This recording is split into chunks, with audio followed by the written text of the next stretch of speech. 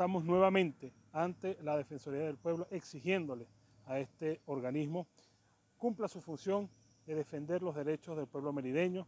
Estamos viviendo una profunda crisis de servicios públicos, especialmente en materia de electricidad. Mérida se está estrenando como un estado con indicadores de enfermedades de morbilidad asociados a falla eléctrica, algo que no tiene precedentes en nuestro estado ni en nuestro país.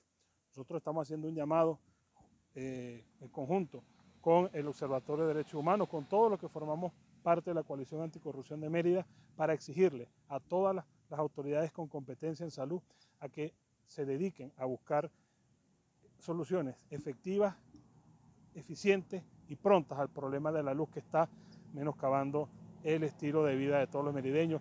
A las autoridades regionales y locales les hacemos un llamado a que se aboquen a buscar eh, políticas públicas efectivas para resolverle los problemas puntuales a los merideños. Ya basta de eh, políticas populistas, de políticas de eh, fiestas populares, de parranda, de pintura y bombillos que no están trayendo ningún beneficio verdadero a los merideños, por esto que nuestra calidad de vida y nuestros estilos de vida siguen en estados o niveles muy deficientes.